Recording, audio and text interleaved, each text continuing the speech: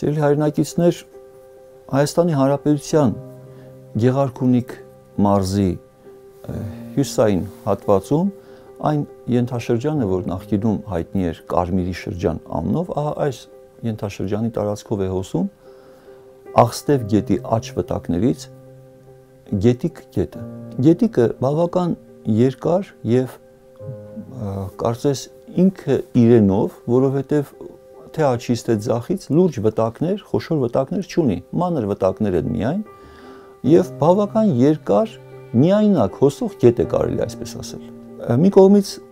ուղակի աշխարհագրական արկա իրավիճակը, փաստը, թե ինչ տեսակ տեղանք է գետիկի ավազանը եւ մյուս կողմից մեր աղբյուրներում, պատմական աղբյուրներում հայտնի մի գավառի անուն, որ կոչվում է միափոր, գալիս է եւ մեզ հուշում է, որ գետիկ գետի ավազանը համապատասխանում է պատմական միափոր գավառին։ Ինչ ասել է միափոր։ Միափոր այսինքն մի ձոր եւ իսկապես գետիկը հենց մի ձոր ունեցող մի գետ է, որ շատ երկար, բայց առանց լուրջ ջրառատ վտակների, այլ միայն մանր վտակները թունելով մեկ ձորով հոսող մի կետ է։ Դրա համար տարածքը կոչվել է միափոր։ Ուզում եմ ներկայացնել միափոր գավառի տարածքում պահպանված հուշարձաններից մի քանիսը, նրանք որ մեզ հաջողվեց տեսնել մեր 2015 թվականին իրականացրած կարճատև ճամփորդության ընթացքում, որ շատ հետաքրքիր են եւ որոշները մեծ արժեք եւ նաեւ անձամբ ինձ որոշ իմաստով նաեւ անսպասելի եւ մի քիչ էլ անակնկալի բերած հուշարձաններ են իդեմս մի միջնադարյան բերթի, որ չէի կարող պատկերացնել, թե այդքան լավ պահպանված բերթ եւ ըստ էության լուրջ մի կառույց կարող է մինչև հիմա առանձնապես գոնե որևէ հրատարակության մեջ ես չէի տեսել եւ զարմացա թե ուրախացա որ նման բան հայտնաբերեցինք եւ թե մի քիչ էլ մարդ նեղվում է, որ նման կարևոր եւ լուրջ պատմական հուշարձանները դեռ մինչեւ հիմա մենք առիթ չենք ունեցել ներկայացնել ոչ մի հրատարակության մեջ, ոչ հատակագից, ոչ նույնիսկ լուսանկար չի հրատարակված եւ սա էլ մի կողմից կարծես հավելյալ դրթեց, որ ես գոնե այս հաղորդման միջոցով անդրադառնամ եւ ավելի ճանաչելի դարձնեմ գետիկ գետի կամ միափոր գավառի տարածքում գտնվող ուրեմն մեր մի շարք հուշարձաններին։ Եվ այսպես, եթե մենք գետի ստորին հոսանքից այդ զորակը բռնենք եւ սկսենք կամած վեր բարձրանալ, դեռ առաջին կարևոր հուշարձանները իհարկե գետի ցախ կողմում գտնվող Գոշ գյուղի մեծահամբավ վանքն է, Գոշավանքը։ Բայց ես այդ ստորին հատվածի հուշարձաններին հիմա կանգ չեմ առնելու, դրանք չեմ ներկայացնելու եւ միանգամից ավելի վեր եմ բարձրանալու, հասնելու եմ մինչեւ գետի միջին ավազան։ Ահա այնտեղ, որտեղ արդեն սկսում է Եղարքունիք մարզի սահմանը։ Իհարկե դեռ մինչեւ այդ սահմանին հասնելը կամ ուղղակի շատ մոտ մի գյուղ կա հիմա, որ արդեն հայաբնակ է, նախկինում ադրբեջանցիներ էին ապրում, նրանց հեռանալուց հետո ուրեմն գյուղը դարձել է հայաբնակ։ Ես այս գյուղում հաճելիորեն ուրեմն հանդիպեցի Կուրի Ձախապնյա շրջաններից Վարդաշենի շրջանկար եւ ուներ հայաբնակ Ճալետ գյուղը, Ճալետցի հայերի հանդիպեցի, որ շատ հաճելի էր եւ շատ ուրախացա, որ իրենք այդ գյուղում, որ հիմա կոչվում է Աղավնավանք, բնակություն են հաստատել եւ պիտի ասեմ, որ հետարքիր է մարդիկ բռնագաղթի ենթարկված մարդիկ փաստորեն ամեն ամեն դեպքում աշխատել են իրենց ծննդավայրին հարազատ միջավայր գտնել եւ իդեմս աղավնավան գյուղի կարծում եմ որ մեր ճալեցի հայրենակիցներին դա հաջողվել է որտեվ աղավնավանքը նույնպես անտառների գրկում է գետի աչ ափին եւ նորից ունի իրենից ոչ հեռու մի վանք, ինչպես Ճալետ գյուղում էր, Ճալետի մոտ էր կաթողիկոսանիստ, աղվանից կաթողիկոսանիստ վանքերից մեկը Սուրբ Աստվածածնա, այս դեպքում էլ աղավնավանքից երևի միջև մի 2 կիլոմետր ամենաշատը հեռավորության վրա կենտրոնագմբեթ հորինվածքով 13-րդ դարի սկզբների մի կառույց կա, որ միջև մի կանգուն է, գմբեթն էլ բոլորաձև թմբուկով, սրածայր կոնաձև վեղարով գմբեթ ունի։ Ուրեմն այդ վանքն էլ գյուղամերձ պահպանվում է։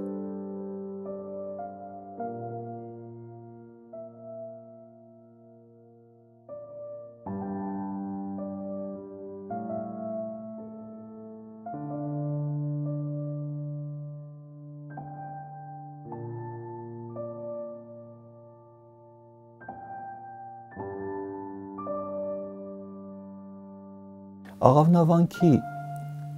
հարավային եզրին գետի գետի վրա է մեր օրյա ժամանակակից կամրջի հարևանությամբ մի միջնադարյան կամուրջ։ Ահա այս կամուրջն էլ մինչև հիմա կանգուն է, բայց իհարկե նոր կամրջի արկայությամբ կարծես գործառույթից դուրս է եկել անմշակ քարերով միաթռիչք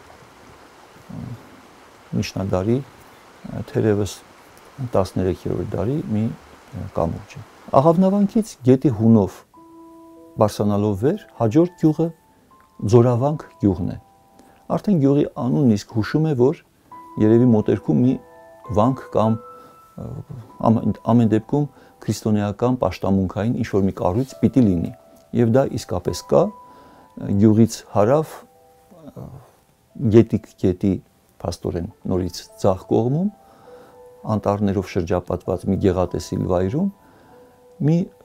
միջնադարյան մատուր կա, շուրջն էլ գերեզմանատուն, որտեղ նույնիսկ մի քանի խաչքարեր դեռ միջև հիմա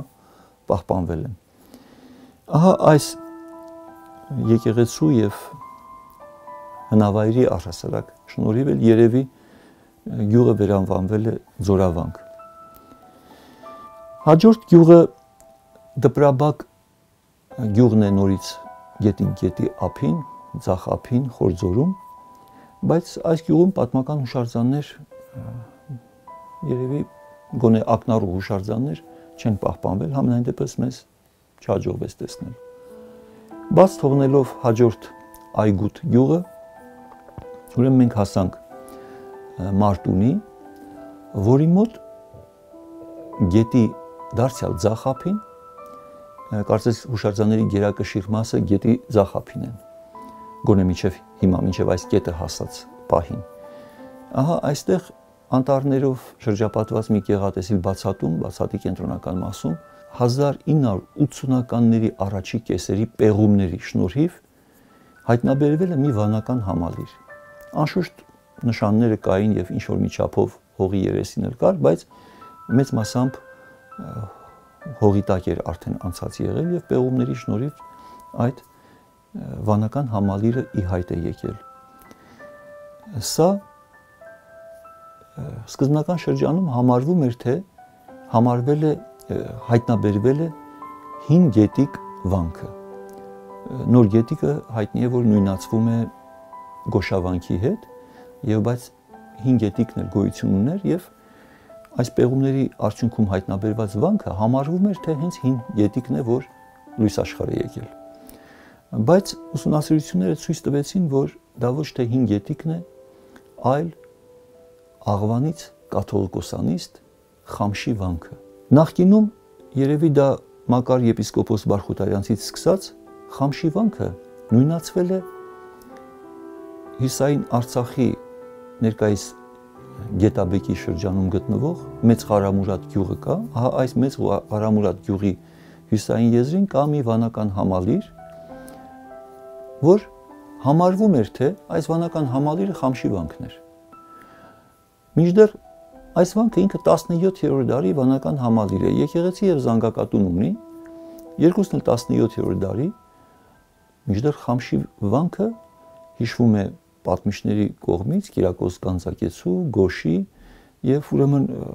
12-13-րդ դարերի պատմական անցքերի առնչությամբ է հիշվում, ոչ թե ուշ միջնադարի։ Մեզ հաջողվեց ողրել թե Խամշիվանք համարված Խարամուրատ գյուղի հարևանությամբ գտնվող վանքի բուն անունը, որը նույնիսկ գրչօջախ է եղել եւ ձեռագրերում հիշվում է Հարանց վանք անունով 17-րդ դարում արդյունավետ գրչօջախ է եղել եւ թե փաստորեն խամշի վանքի ճիշտ տեղը parzելով նաեւ միափոր գավառի տեղադրությունը ճշտվեց սա էլ է օգնել պիտի ասեմ որ հասկանանք եւ իմանանք որ գետի գետի ավազանն է միափոր գավառի տարածքը ուրեմն այս խամշի վանքում որքան որ պատմությունից հայտնի է հիմնականում որպես կաթողիկոսանիստ ծառայել է երկու կաթողիկոսների համար։ Գոնե երկու երկուսի անուններն են շրջանառվում։ Առաջինը Հովանես կաթողիկոսն է 1195-ից մինչև 1235 թվականները 40 տարի գահակալել է եւ հենց ինքն է որ աղվանից կաթողիկոսությունը փաստորեն փոխադրել է Խամշի վանք։ Ընդ որում, ինչ դա Հովանես կաթողիկոսը Շամքոր գետի խոր ձորի մեջ Չարեկ Բերթի հարևանությամբ քարանձավներ կային։ Թշնամիների ահից ստիպված այդ քարանձավներում էր, որ բնակություն էր հաստատել։ Եվ միայն Զաքարյան իշխանապետության շրջանում Իվան է Զաքարյանը փաստորեն առաջարկում է եւ տեղ է տալիս եւ փաստորեն աղվանից կաթողիկոսին հravirում է Խամշի վանք։ Իհարկե կաթողիկոսը հաստատվելով այս վանք ձեռնամուխ է լինում բուրըն շինարական աշխատանքների։ Ուրեմն ինչ իր հաստատվելը արդեն դա վանք էր եւ ինչ որ հին շինություններ կային, բայց այն ինչ որ սկսում է կառուցել Հովանես Կաթողիկոսը, իհարկե աննախադեպ կառույց է։ Նույնիսկ այդ ավերակ վիճակում, որ հիմա այցելուները կարող են տեսնել, իհարկե մեծ մասամբ էլ շնորհիվ 80-ականների պեղումներին հայտնաբերված, որտեղ միշտ դա շատ ավելի քիչ բան է տեղում տեսանելի եղել։ Ուրեմն երևում է, որ թեկուզ այդ ավերակներից, թե որքան շքեղ, որքան քանդակաշատ զարդանախշերով պատված եւ ճարտարապետական ինչ բարձր արժեք է եղել Խամշի վանքի Հովանես կաթողիկոսի կառուցած եկեղեցին։ 13-րդ դարի սկզբներին է կառուցել հորինվածքով կենտրոնագմբեթ եկեղեցի է եղել ուղանկյուն ծավալների մեջ, 4 անկյուններում ավանդատներով, շատ գեղեցիկ հարդարանք ունի բեմ առաջը, ավակ խորանի ճակատային մասը, մուտքը արևմտյան ճակատից է, բավական շքեղ մշակված շքամուտք ունի եւ արևմտյան ճակատի առջև նաեւ ունի գավիթ։ Այ գավիթը արդեն հասարակ քարով է կառուցված եւ անշուշտ իր ճարտարապետական արժանինքներով զիջում է եկեղեցուն։ Այս Հովանես կաթողիկոսի գործնեության վերաբերյալ եւ տեղում եկեղեցի կառուցելու վերաբերյալ պատմիչը հաղորդում է մեզ հետեւյալը. Բնակեցոյց ըզնա Իվանե Իգավարն միափոր, Իվանքն որ կոչի խամշի։ Սա սկսավ շինել անդ եկեղեցի մեծ եւ հրաշալի եւ մինչեւ էր ավարտյալ խափանումն եղև զի եկն սուլթանն Խորասանա Ջալալեդդին կոչեցյալ։ Ըսխամշիվանս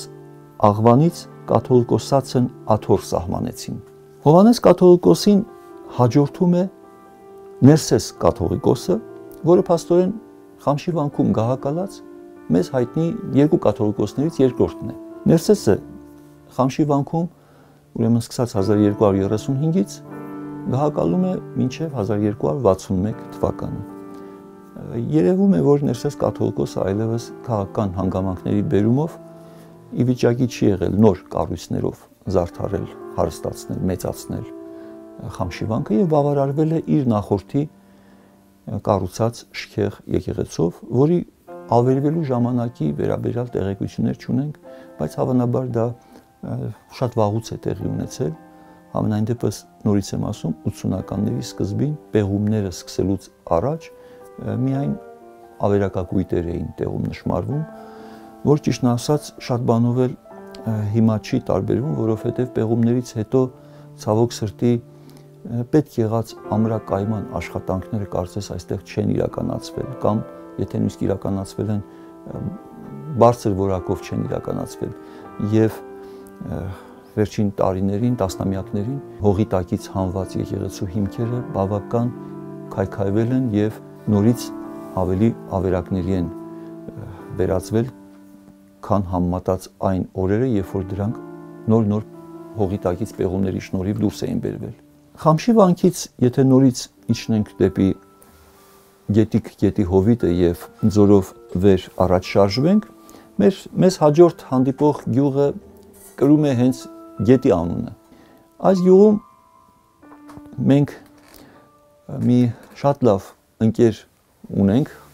որ հերակա ծանոթ էինք եւ տեղում լինելով նաև անձամ ծանոթացանք մի շատ լավ հնասեր եւ պատմական հուշարձաններով, հայկական հիշատակներով հետարկրված անznավորություն աղավարթը,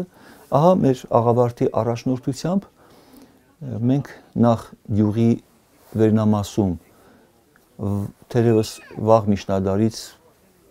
մինչև ուշ միջնադարին վերաբերող հայկական 5 գերեզմանատունը տեսանք եւ հետո աղավարթը մեզ առաջնորդեց մինչև մի քանի կիլոմետր հեռավորությամբ գետի աջ կողմի արդեն անտառներից վեր ալպիական գոտու շրջանում ուրեմն բարձր սարի գագաթի միջնադարյան բերդը այս բերդը իսկապես զարմանք պատճառեց անձամբ ինձ որովհետև ես չէի տեսել այդ բերդից գոնե մեկ լուսանկար որևէ հրատարակության մեջ երբևէ եւ տեղ հասնելով իհարկե մենք մեր խմբի անդամները թե լուսանկարեցին մանրամասն եւ թե չափագրեցին եւ գոնե այդ ձևով եւ նաեւ այս ձևով որ հիմա ձեզ եմ փոխանցում բերթը սրանից հետո գոնե ավելի ճանաչելի կլինի ասեմ որ ըստ իր շարվածքի կառուցողական առանձնահատկությունների այս բերթը 10-ից 13-րդ դարերի կառույց է մոտավորապես անկանոն քարանկյունու տեսք ունի անկյունային հատվածներում կիսաբոլորակ, բայց ոչ այնքան կանոնավոր, ինչպես որոշ բերթերում դասական կիսաբոլոր աշտարակներ են հանդես գալի, այստեղ ավելի տեղանքը օգտագործելով եւ հարմարվելով տեղանքի առանձնահատկություններին, ամեն դեպքում անկյունները ավելի կիսաբոլորակ աշտարակներին են նմանվում, դրանցով են հզորացված եւ պարիսպներն էլ առավելագույն կարող եմ ասեմ մինչև 7 8 մետր բարձրությամբ պահպանված։ Ուրեմն կարելի ասել տարածաշրջանի բավական լավ պահպանված բերթերից մեկն է։ Այս չափ Պարիսների բարձրություն ունեն, ասենք, Տավուշի բերթերից մի քանիսը, Կայանը, Մահկանաբերթը, Տավուշի բերթը, բերթ քաղաքի հարևանությամբ եւ ուրեմն նրանց կողքին դնելիք կամ նրանց ցանկում նրանց հետ մեկտեղ ներկայանալի վերթերից մեկն է։ Գետիկ գյուղից գետիկ գետի հունով վեր հաջորդ գյուղը Թթուջուրն է։ Արդեն անշուշտ հասկանալի է, որ Թթուջուր անունը կրող գյուղերն առհասարակ որտեղից են իրենց անունները ստացել, հանքային աղբյուրների արկայության հետ է պայմանավորված։ Այս գյուղում մենք տեսանք մի եկեղեցու ավերակ, որի միայն խորանի հատվածն էր պահպանվել հենց ճամփեզրին է, այսինքն այցելուները շատ հեշտ դա կարող են նկատել ուշ միջնադարի հորինվածքով եւ շարվածքով կառուցողական առանձնահատկություններով մի եկեղեցի է, որ կարծես միայն մեկ կողմում խորանից բացի, ավակ խորանից բացի միայն մեկ կողմում հարավային կողմում ուներ ավանդատուն, որ քիչ է պատահում սովորաբար խորանի երկու կողմերում էլ ավանդատներ լինում են։ Այս դեպքում միայն մեկ կողմում էր Ծածկը վաղուց փլվել էր, ծածկը կար միայն խորանի հատվածում։ Եվ անշուշտ գոնե այդ վիճակում հարատևեցնելու համար եկեղեցին կարիք ուներ որոշ ամրակայման աշխատանքների։ Գետիկ գետի հովտում հատկապես միջնադարյան գերեզմանոցներ, դրանց ավերակները բազմաթիվ խաչքարերով արկա են նաև ավելի վեր շրջենտրոն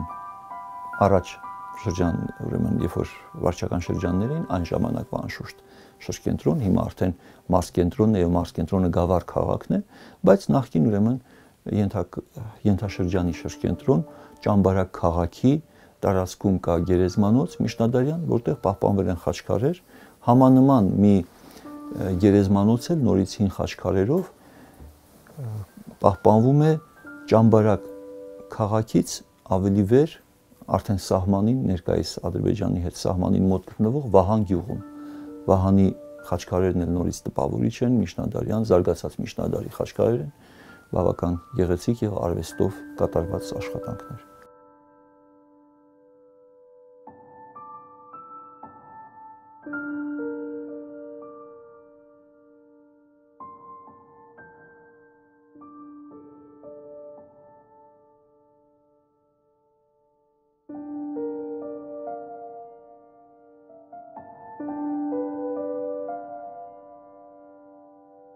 Ասա էր գետի գետի հովտի կամ միափոր գավառի այն հուշարձանները, որ անցյալ տարի դրանց մի մասը մենք կարողացանք տեղում տեսնել եւ որոնց ուզեցի, որ դուք էլ ծանոթ լինեք։ Շնորհակալություն, միշտ հանդիպում։